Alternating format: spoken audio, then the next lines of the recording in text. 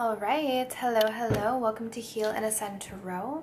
So I hope everyone is doing well. Today is going to be your pick a card reading. So we're going to take a look and see the person on your mind. What is their current energy towards you at this moment? So we have pile one, pile two, and pile three. So take a moment to see which pile is resonating with you. If you guys want to book a personal reading, I am extending that $30 off the emergency read promotion for one more day only. So I'll leave the the coupon code in the comment section. So check the date of the video. One more day, I'm going to extend it. Um, okay, so let's jump in. So we have pile one. I'm just going to move these over.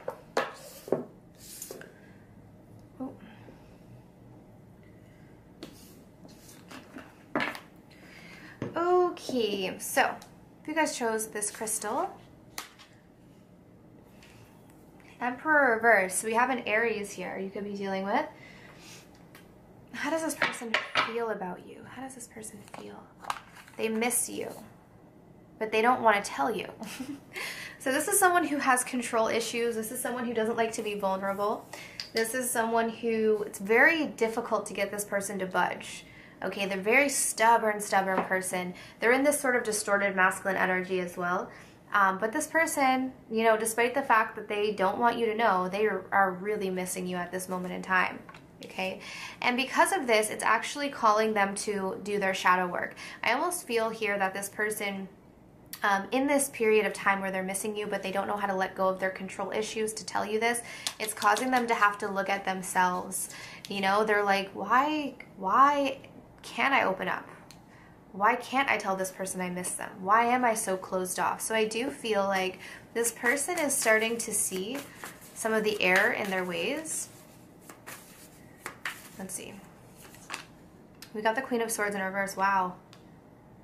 Wow, what an interesting combination of people. I feel like this represents you. Some of you really, like, put this person in their place. Queen of Swords reverse, you guys have completely detached, completely gone cold, stopped giving every ounce of emotion that you had to this person. Like, you've locked away your emotions this person is not getting any of your love. And I do feel that despite the fact that this person probably hasn't done anything, probably hasn't said anything, probably hasn't even shown you that it's affected them, it's affecting them. And they're really missing you, but the problem is is that they don't know how to let go of their pride to tell you, and this is their work. So I feel like by you guys setting a boundary, although it might have been quite harsh, but it could be warranted. You know, if you're dealing with the Emperor reversed, maybe you needed to be the Queen of Swords reversed. Yeah. This person is feeling rejected by you, Four of Cups. Feeling like they've missed an opportunity, feeling like you do not want them anymore. And it's taking a toll on their ego. Yeah, you guys are not communicating. Page of Wands in reverse. What does this person want to say? We have the third party knows about you. Maybe that's why you cut this person out. I've told my friends how I feel about you. So this person is telling everyone except for you how they feel. Even this third party knows how they feel. Their friends know how they feel. But you don't know how they feel. Let's clarify this. So there's someone else. I don't know if they're in a relationship, married. I don't know if it's casual. I don't even know if you guys know. Let's see. Why is this the third party knows about you? I feel like this person is missing you so much that it's starting to slip through in their conversations with people. Yeah, they've said something. Judgment. They've said something to this third party now this third party knows about you. I think it's kind of like, you know, when you're thinking about someone so much that you bring them up in conversation, you don't even realize it. It doesn't even have to be a person, but when you think about something a lot, you end up talking about it because it's just on your mind. So I feel like you're on this person's mind so much that whoever they're talking to, they don't they don't mean to, but your name slips up. They they say your name. Um, and I feel like the people around them are like, that's weird. Like you haven't talked to her in a while or you haven't talked to him in a while. Why are you bringing her up? Let's see. How does this person feel about you? Temperance, Sagittarius. At this point in time, this person is trying to find some sort of balance within themselves. And I think they are struggling because the balance that they need to find within themselves is going to require them to look at themselves because I feel like this person is typically used to being in control in a relationship. You know, they like to have the upper hand, they like to feel like they're in control. Again, you put this person in their place, big time. you have completely gone cold. You shut them out. You've cut them out. You did whatever you had to do to protect your own heart. And I feel like this person, they're not used to this again, right? So this person is like, oh my gosh, I've lost control of the situation. That's why they don't want to show or reveal what they're actually feeling. But I do think that this is a positive thing because it may very well cause this person to change. Who knows? I'm not saying wait around for them. I'm saying that this actually could cause a change in this person because with the shadow work card, it seems like they're actually looking at themselves. Okay? So that's what I'm getting for pile one. So I hope that resonated. Let's move on to pile number two. So if you guys chose this crystal here, how does this person feel about you? Four of Pentacles, they're not opening up. How does this person feel about? They're not taking any action. Oh, they're very closed off. Oh, they're very closed off. Why? Because they're hurt. So this person is shut down. They are not opening up to you. They are not moving this forward. They are not revealing their feelings. And I asked why. It's because they're hurt. I don't know if this is because they're hurt over you or they're hurt over someone else. But if you're wondering why this person isn't opening up to you or they're kind of reserved, it's because they're heartbroken. Let's see, pile two. Oh, they're going through a depression as well. We have admired. This person really does see that you're an amazing person. I don't know if this heartbreak is about you or someone else. Are they just hurt over someone else or is this you? either way, this heartbreak, I will clarify and find out, but this heartbreak that they're going through right now is putting them in a dark place mentally. They're going through a depression. Um, fall time could also be significant. Maybe you met this person in the fall. Maybe you had a falling out in the fall. um, but fall could be significant. Let's just see. Why is this Three of Swords here? Why is this Three of Swords here?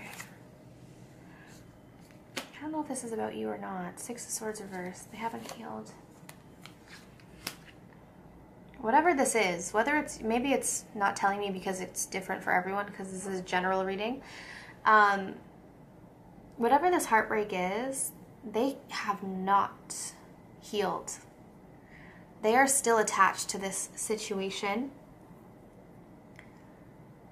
I don't know if they're still, I don't know if it's you that they're still attached to or it's the past, but they are carrying baggage, okay? Because they have not healed from hurt. So because they haven't healed from this hurt, it's not allowing them to open up to you at all. They're very scared to open up to you. They do see your value though. I mean, with the admired card, this person is like very much in awe of you. But let me give you a, a scenario. So let's say this heartbreak isn't about you. Let's say that this is an ex that really hurt them. They have just taught themselves to shut down. Like that's just their go-to it feels way too scary for this person to open up in any way, to be vulnerable in any way. So even though they admire you and they're like, wow, this is a great person, because they haven't healed and they're still attached to some past pain, unfortunately, you're amazing, but they can't open up. Or they're not allowing themselves to open up to you. What does this person want to say?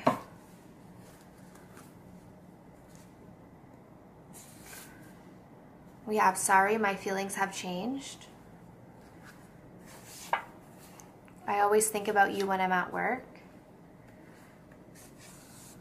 Our chemistry is too intense. Okay, one thing I'm getting is that for a lot of you, this could be someone where things were going great for a while and all of a sudden this person kind of changed.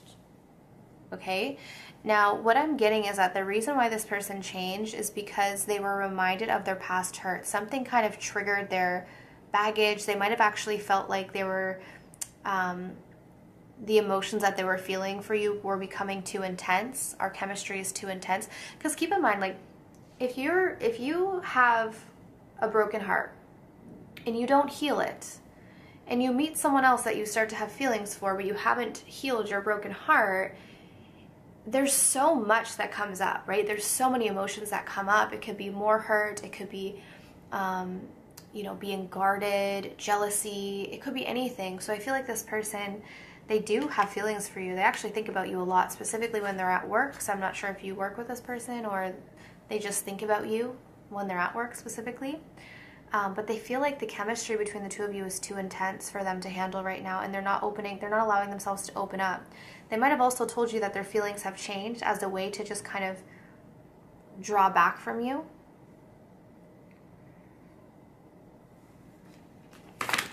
Whoops. Let's see. Pile two. They're very attracted to you. This person sees your value. So I just want to say, just because this person may not be opening up to you or may not be giving you what it is that you want at this point, does not change the fact that they see you as someone who really has a lot of value. Okay? They feel like you are someone who very much stands out. Um, they admire you for who you are, physically, emotionally, spiritually. Like they, they see you as someone who really has a lot going on for you. Um, the problem is, it's like they can't really. They need to heal first. Because what it's telling me is that they have a lot of baggage. So I'm not sure if they're going to be able to move past their baggage or not. Okay. So that is pile number two. I hope that resonated. If you guys want to book a personal reading, I do have the 30% off promotion for one more day on the emergency readings only, okay? So, last crystal. All right, pile three, High Priestess. Hmm. Okay, side message for some of you guys. I don't know if you're into gaming or this person's into gaming. Um, that's not for everyone, but for some of you guys, that may be a specific message. I'm just noticing this shirt kind of looks like a controller. That could be specific for some of you guys. Maybe someone's into gaming, that kind of thing.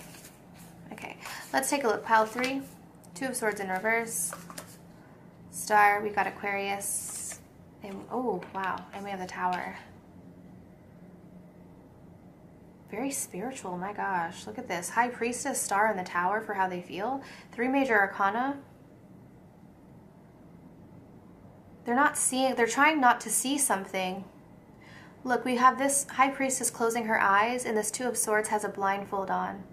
What are they trying not to see, or what are they not seeing? Five of Cups reversed. King of Wands in reverse.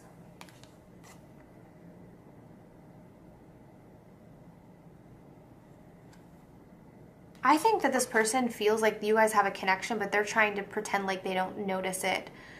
Like they feel like you guys have a really deep connection but they're pretending that they they're like no. They're pretending like they don't see it. They don't notice it. They don't they're not acknowledging it even though they know it and i think the reason why is because the tower this connection because sometimes spiritual connections can actually be very triggering right like they can be difficult to navigate i feel like this person is so triggered by this connection that they feel it because with the star they feel like this is something really special. They feel like this is something really destined, but they're avoiding this connection.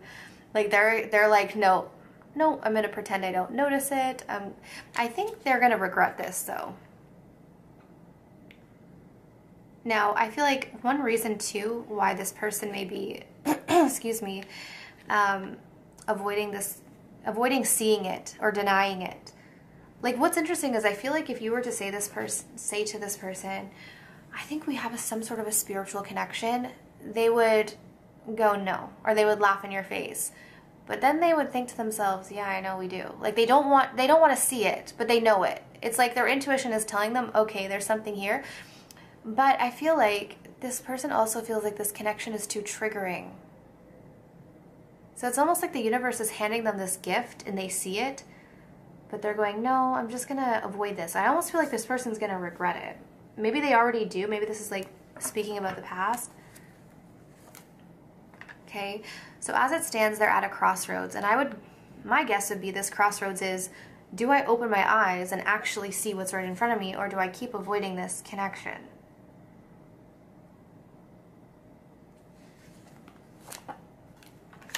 Oh, there could be someone else as well, so that could be affecting them.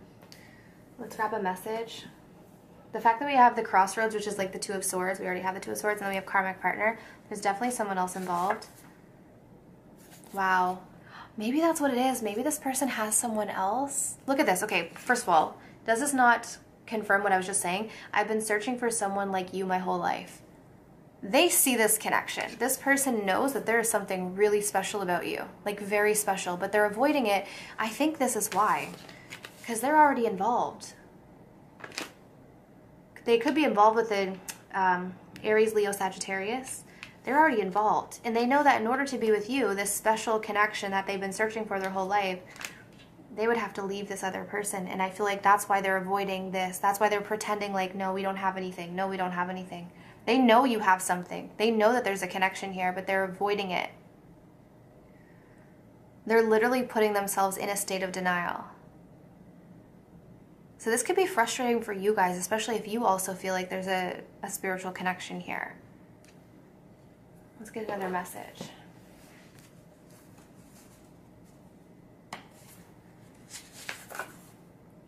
Can you reach out to me? I'm scared. So if this person hasn't said anything to you, it's because of their fears. I don't know if it's the best, like, I don't think it's a good idea to reach out to this person, especially if you know that they're still involved with someone else, because I almost feel like that would keep this person from making any decision.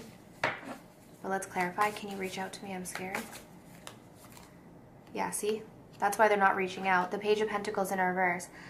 It's almost like this person wants you to do the work. I mean, they're they have to get over this fear, right? Like, because if you reach out to them, then they don't have to overcome that fear. So if you're wondering why they're not reaching out, that's why, because they have a fear. But I honestly, I feel like by you not reaching out, this is forcing this person to have to stop avoiding this. Like they have to make up their mind here. But they're still stuck in limbo. But just know that this person recognizes the connection even if they have denied it or pretended that they didn't. Okay, so that's what I'm getting for pile three. If you guys want to book a personal reading, I do have a 30% off promotion. It's the last day. I extended it for one more day on the emergency reading, so it'll be in the comment section down below. Um, there's also $20 off for any of the other readings as well if you don't want to book an emergency reading. Okay, but I'm sending you guys absolute love and light, and I wish you all the best on your journeys. Take care.